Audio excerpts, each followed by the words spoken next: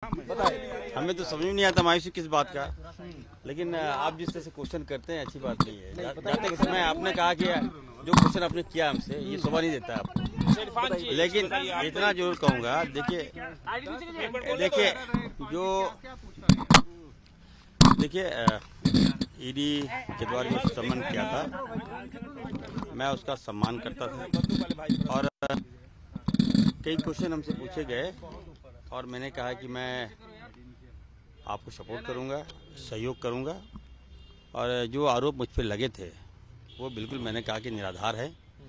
और सरकार गिराने की जो बातें थी, वो तो हाई कोर्ट ने साफ़ इनकार कर दिया कि हम लोग का कोई हाथ नहीं था। हम लोग टॉपलिंग गवर्नमेंट में मेरा कोई सहयोग नहीं था। और दूसरी बात रही कैश का। तो कैश का मैंने जवाब दिया है कि वो कैश हमारे थे। हम अपने अकाउंट से मेरे कैश था। और ये मेरे अपने पैसे थे जिसका क्योंकि ईडी के सामने आप झूठ बोल नहीं सकते। क्योंकि नहीं नहीं सबके अलग अलग पैसे थे अलग अलग पैसे थे। और जो फैक्ट था फैक्ट के साथ मैंने दे दिया है और ईडी का अनुसंधान जारी है। और जिस तरह से मैं कहना चाहता हूँ कि हमारी छवि को एक दाग लगाने का प्रयास किया गया है ये अच्छी बात नहीं है। मैं बताना चाहता हूँ आप लोग हमको अच्छी तरह से जानते हैं। मैं दिन रात जनता के लिए लड़ता हूँ दिन रात जनता के लिए काम करता हूँ। एक मिनट सुन लीजिए आप लोग पूछ रहे हैं तो आप लोग जब पूछ रहे हैं इतना दिन तो आप लोग खराब लिख चलाए तो कम से कम आज हमारी बात तो सुनिए आप लोग। जो जो दाग आप लोग लगा दिए मीडिया में आप लोग बिना तत्व के बिना तथ्य को जाने आप लोग जो मुझसे चलाए लेकिन मैं उस पर नहीं जाना चाहता। मैं इतना ज़रूर कहूँगा कि मैं पार्टी का वफादार सिपाही हूँ कांग्रेस का वफादार मैं विधायक हूँ। जो आरोप लग गया इसकी जाँच चल रही है अनुसंधान चल रहा है सच्चाई सामने आ जाएगा। और मैं उस टाइप का नहीं हूँ कि कोई आरोप लगा दे और निराधार आरोप लगा दे क्योंकि मेरा एक जमीर है मेरा अपना समाज है मेरा अपना मांस है। दिन रात काम करते हैं उसके बाद जो हम आपको बता नहीं सकते इन तीन महीनों में जो मैंने पीड़ा सहा है हम काफ़ी अपने आप में गलती मतलब अ, मेरे हम बता नहीं सकते जो राजनीतिक में हम इसलिए नहीं आए कि हम पे कोई दाग लगा दे। जो दाग लगाया उनसे भी मैं कहूँगा कि जो जो चाहिए जो चोर है वो हीरो बन गया। और जो हीरो है उसको आप ज़ीरो बना दिए यही सवाल यही है। तो तो बात सुनिए मैं किसी की व्यक्तिगत रूप- इस पर जाना नहीं चाहता। टोटली हमें लगता है कि बदनाम करने की साजिश थी और आलाकमान तक को भी गुमराह किया गया। तो मैं मैं कहना चाहता हूँ कि मैं सरकार इस सरकार को हमने बनाया है। सरकार में हमारी समाज की बहुत बड़ी भूमिका है। मैं दिन रात भाजपा के साथ लड़ता हूँ। और जो आरोप मुझ पर लग गया जो दाग लग गया उसका मुझे अफसोस है। इरफान जी जो ज़ीरो एफआईआर में जो गंभीर आरोप आपके ऊपर लगाए गए हैं और जिस विधायक ने लगाए वो आपके पार्टी के विधायक हैं। बहुत बोलते थे कैसा अनुभव रहा ईडी का जरा इस पे प्रकाश डालिए। कह रहे थे ईडी सीबीआई जो है बीजेपी का काम करती है। आज तो ईडी के दफ्तर में दस घंटा रहे। क्या क्या हुआ देखिए देखिए ये ये ये आप जो आप जो प्रश्न हमसे पूछ रहे हैं ईडी एक संवैधानिक संस्था है और इनको अपना हक है वो जाँच कर सकती है। तो जाँच कर रही है अनुसंधान अनुसंधान चल रहा है। आज मुझे बुलाया गया है कल अन्य विधायकों को बुलाया गया है। और जो आरोप मुझ पर लगे कि दस करोड़ रुपया और मंत्रिमंडल का आरोप तो ये बातें हमसे क्रॉस किया गया कि भूषण बाड़ा और नेहा तिर्की और अनूप को आपने कब बात किया था?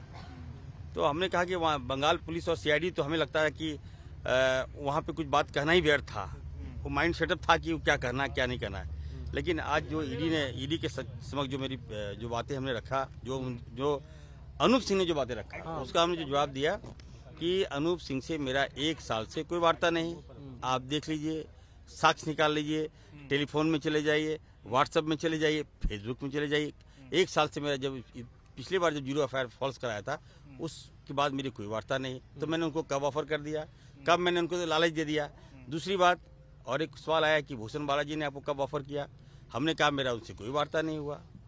तो एक सेकेंड रुके ना भाई बात तो सुनी दीजिए। उसके बाद भूषण भूषण बालाजी का बात आया वहाँ पर जो बातें आई तो भूषण बाला का भी हमने कहा कि नहीं ऐसी कोई बात नहीं है।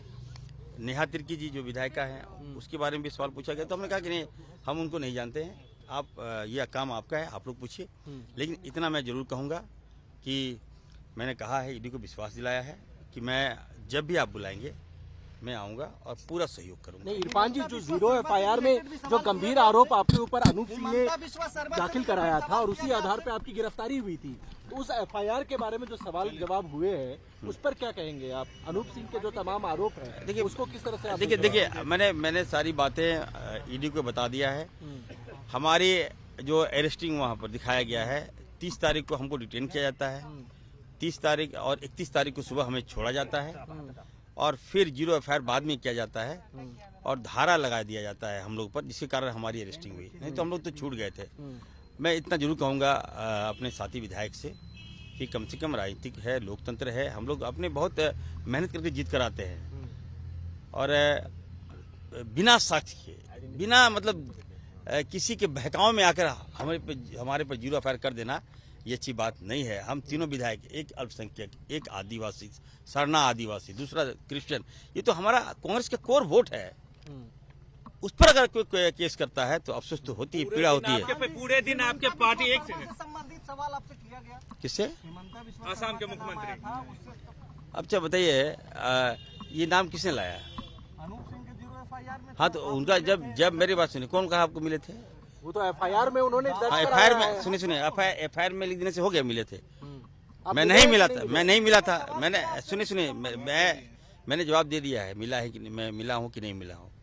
मैंने सीआईडी को भी बता दिया था कि आप पक्ष आप साक्ष दीजिए अगर हम मिले हैं तो। मैं तो कभी आज तक देखा भी नहीं हूँ कि हेमंतो विश्व शर्मा का छोटा है कि बड़ा है आँख कैसा है नाक कैसा है तक मैं दिखा ही नहीं हूँ।